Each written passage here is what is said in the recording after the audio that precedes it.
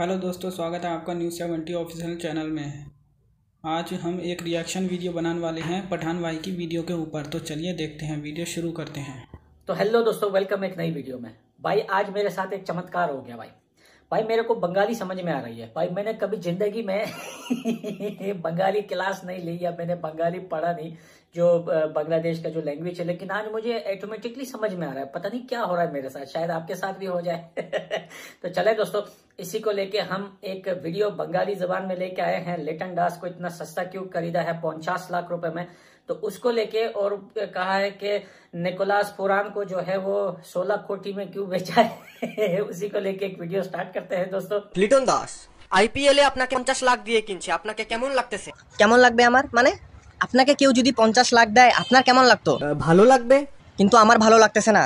কারণ ওই দিন ইন্ডিয়ার সাথে আমি কুত্তার মতো মারছিলাম। রান আউট না হলে ম্যাচটা জিতাই দিছিলাম।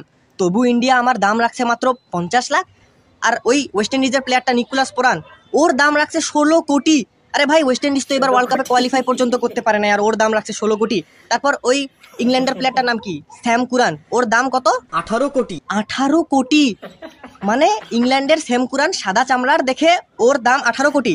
ওয়েস্ট ইন্ডিজের নিকোলাস পোরান ও কালা চামড়ার দেখে ওর দাম ষোলো কোটি। আর আমি বাদামি চামড়ার দেখে আমার দাম মাত্র পঞ্চাশ লাখ।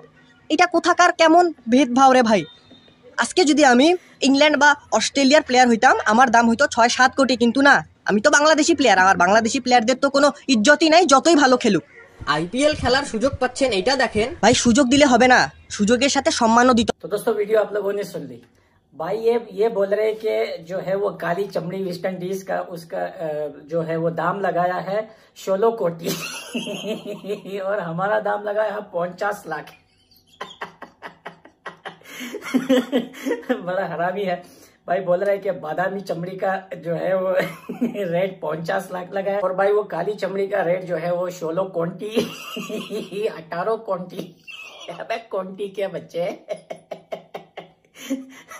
अबे कोंटी के बच्चे? साले तेरे की बात समझाऊं। सिर्फ़ ये नहीं है कि तो बांग्लादेश के प्लेयर जो है वो पचास कोंटी में बिके हैं। भाई खुद इंडिया के भी ऐसे प्लेयर हैं जो पचास कोंटी के बिके हैं, जो एक लाख के बिके हैं, जो एक को, एक क्या क्या बोल रहे हैं यार वो? करोड़ को क्या बोलते हैं? क्वांटी सोलह को भाई, मैं सब कुछ भूल गया भाई। ये वीडियो सुनने के बाद। भाई, सब कुछ छोड़ो भाई। मुझे, मेरे को ये बताओ, मेरे को बंगाली कैसे समझ में आ रही है भाई? मुझे कुछ हो गया है क्या? कोई शक्ति वक्ति आ गई है मेरे अंदर?